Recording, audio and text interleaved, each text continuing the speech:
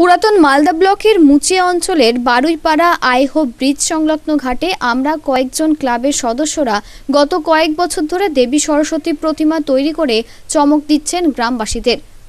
এবারও প্রায় পঁচিশ ফুটের দেবী সরস্বতীর মূর্তি তৈরি হচ্ছে। শেষ মুহূর্তের জোর কদমে চলছে প্রস্তুতি। ক্লাবের এক সদস্য দীপান্বিতা বিশ্বাস জানান, এবারে আমাদের অষ্টমতম এই পুজো পদার্পণ করল। কয়েক বছর ধরে বড় আকারের দেবী সরস্বতী মূর্তি তৈরি করে পুজো করছি। এবারে আমরা ক্লাব ও এলাকাবাসীদের সহযোগিতায় প্রায় পঁচিশ ফিটের দেবী সরস্বতী মূর্তি করেছি। এবার এই মূর্তি তৈরি করেছে সহদেব দাস।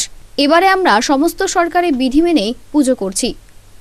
আইহো ব্রিজের নিচে মুচিয়া বারোইপাড়া গ্রামে আমরা কয়েকজন ক্লাবের সদস্যরা কয়েক বছর থেকে সরস্বতী পুজো করে আসছি।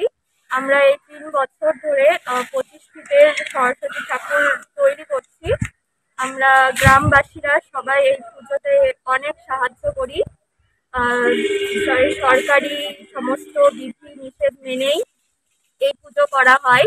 আমাদের এবার সরস্বতী পুজোর বাজেট পঞ্চাশ হাজার টাকা।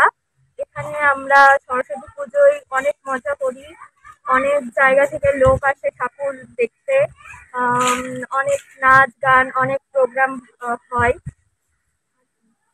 যেহেতু করোনা চলছে এই সময় সমস্ত দর্শকদের মাস্ক এক বাধ্যতামূলক মাস্ক ছাড়া এখানে কাউ- ঢুকতে পারবে না।